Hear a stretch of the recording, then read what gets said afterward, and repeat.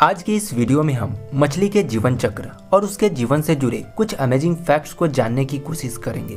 दोस्तों, आज इस पृथ्वी पर मछलियों की लगभग तैतीस हज़ार तीन सौ प्रजातियाँ निवास करती है। लेकिन क्या आप जानते हैं कि मछलियों की लगभग अठारह हज़ार प्रजातियाँ साल्ट वाटर या मरीन स्पीसीज होती हैं, जो कि समुद्र के खारे पानी में रहती हैं। वहीं मछलियों की लगभग तेरह हज़ार प्रजातियाँ फ्रेश वाटर स्पीसीज होती है, जो कि नदियों और तालाबों के मीठे पानी में रहना पसंद करती हैं। वहीं आपको जानकर हैरानी होगी कि मछलियों की कुछ प्रजातियाँ ब्रैकिस वाटर में रहना पसंद करती हैं। ब्रैकिस वाटर नदी तालाब के मीठे पानी और समुद्र के खारे पानी का एक मिश्रण होता है, जो कि नदियों और समुद्र के संगम या फिर डेल्टा वाले स्थानों पर पाए जाते हैं आज भले ही मछलियों का इस्तेमाल खाने से लेकर एक्वेरियम में सजावट के लिए किया जाता है, जिस कारण से इसे आज आर्टिफिशियल तरीकों से भी ब्रीड कर लिया जाता है, लेकिन एक मछली के प्रजनन की प्रक्रिया किसी आश्चर्य से कम नहीं होता। दोस्तों, वीडियो में आगे बढ़ने से पहले आपको बता दें कि ऐसे ही इंटरेस्टिंग वीडियोस को देखने के लिए चैनल को सब्सक्राइब ज़रूर कर लें दोस्तों, एक मछली के जीवन चक्र की प्रक्रिया में egg hatchling larva fry juvenile और एडल्ट जैसे कई स्टेज होते हैं, जिसकी शुरुआत नर और मादा के मिलन के प्रक्रिया के साथ शुरू होती है। दोस्तों, आपको जानकर हैरानी होगी कि मिलन की यह प्रक्रिया मछलियों की विभिन्न प्रजातियों में भिन्न भिन्न होती है।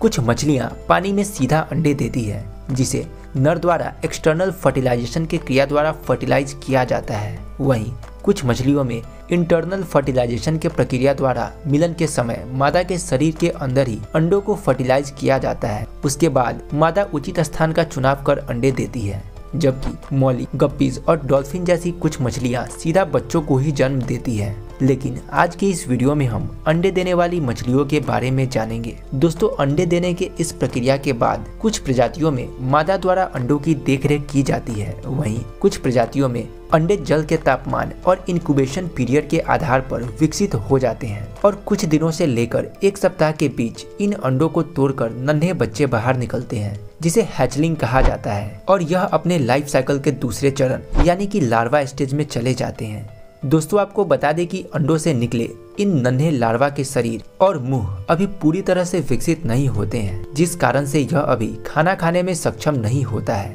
तो सवाल यह उठता है कि शुरुआती दिनों में यह बिना खाना खाए जीवित कैसे रहते हैं?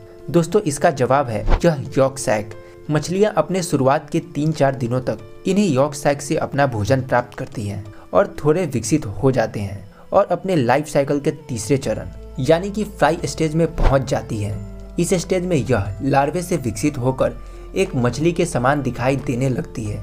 इसके मुँह और शरीर के विभिन्न अंग अब पूरी तरह से विकसित हो चुके होते हैं। वहीं अब इसके शरीर में मौजूद यॉक सैक गायब हो चुका होता है, जिस कारण से अब यह अपना भोजन अपने आसपास के वातावरण से प्राप्त करती है और अपने शुरुआती दिनों में यह जू प्लैंक्टॉन्स और फाइटो जैसे सूक्ष्म जीवों को भोजन के रूप में ग्रहण करती है और विकसित होने के इस प्रक्रिया में लगी रहती है। अपने प्रजातियों के आधार पर कुछ महीने फ्राई स्टेज में रहने के बाद यह अपने लाइफ साइकिल के चौथे चरण, यानी कि जुबिनाइल स्टेज में पहुँच जाती है। जुबिनाइल स्टेज में यह मछली एक वयस्क के समान ही दिखाई देती है, लेकिन इनके शरीर के अंग अभी पूरी तरह से विकसित नहीं हुए होते हैं, जिस कारण से इस स्टेज में यह प्रजनन की प्रक्रिया में भाग नहीं ले सकते। लेकिन सेक्सुअल मैच्योरिटी को छोड़कर इसके शरीर के विभिन्न अंग पूरी तरह से विकसित हो चुके होते हैं। यह अब जू प्लैंक्टॉन्स और फाइटो जैसे सूक्ष्म जीवों के साथ साथ अर्थवर्म स्नेल्स और कई जीवों को अपने आहार के रूप में शामिल करते हैं और बीतते वक्त के साथ ये मछलियाँ कुछ महीनों से लेकर कुछ सालों में अपने लाइफ साइकिल के पाँचवें चरण, यानी कि एडल्ट स्टेज में पहुँच जाते हैं। जब यह पूरी तरह से सेक्सुअली मैच्योर हो चुके होते हैं और प्रजनन की प्रक्रिया में भाग ले सकते हैं। दोस्तों, एक मछली साइज़ में 7.9 मिलीमीटर mm की होने वाली पीडोसिप्रिस प्रोजेनेटिका से लेकर 50 से 60 फीट तक होने वाली वेल जितनी बड़ी हो सकती है। और यह अपने विभिन्न प्रजातियों के आधार पर कुछ दिनों से लेकर 80 से 90 सालों तक जीवित रह सकती है। दोस्तों, आज के लिए बस इतना ही। आशा करता हूँ आपको ये वीडियो पसंद आई होगी। अगर वीडियो पसंद आई तो वीडियो को लाइक करें और चैनल को ज़रूर सब्सक्राइब कर लें।